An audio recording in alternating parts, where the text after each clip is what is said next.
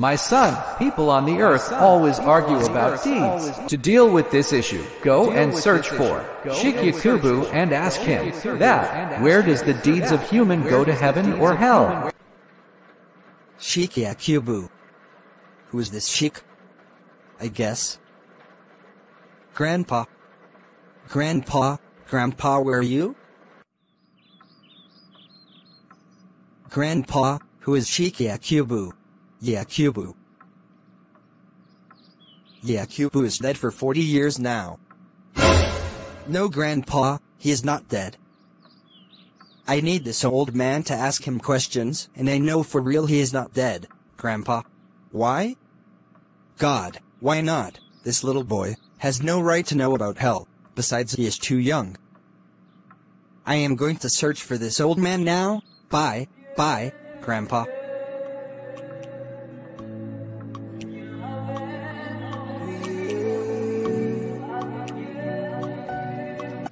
Young boy, what brought you oh. here? If a non-Muslim does good deeds, where he'll go, heaven or hell, according to Islam?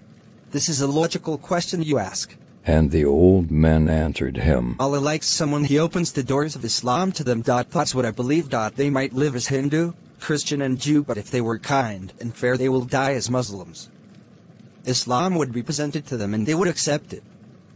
I know people will become Quran quoters here and mention ayahs regarding disbelief but that's a very crude level of understanding. All the good people of the world have blessing of a kind heart, from God.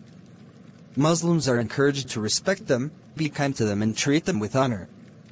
Then whether they accept Islam or reject, that is their relation with God. Many example in history, when a tribe of Arabia fought with Prophet of Islam, the Prophet fought back to preserve himself and his group. However upon conquering the battle he treated them with kindness and respect. Hearts and minds aren't won over by threats of eternal doom. The divine punishments mentioned in Quran will only strike fear in heart of a believer, a disbeliever will make mockery of it. So it's to keep believers on the right track. Fighting is to preserve ourselves not to humiliate others. A kind person won't make random black and white judgment about any religion, there is always depth and nuances and a merciful God wouldn't make harsh judgments either.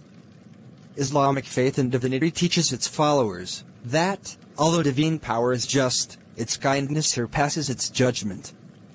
I was told by a sheikh, main scholar, speaker of main masjid in Lahore, old school family, traditional Muslims, that there was Hindu man named Gangaram I think, who was a philanthropist and his hospital still operates in Lahore and helps and services many.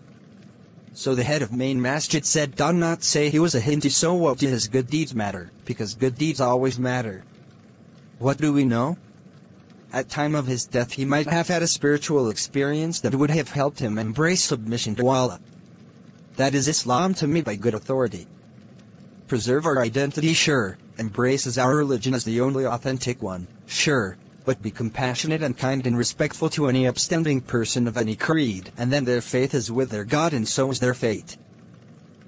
Hope your question is answered? Yes, Sheikh Yakubu. Thanks for watching.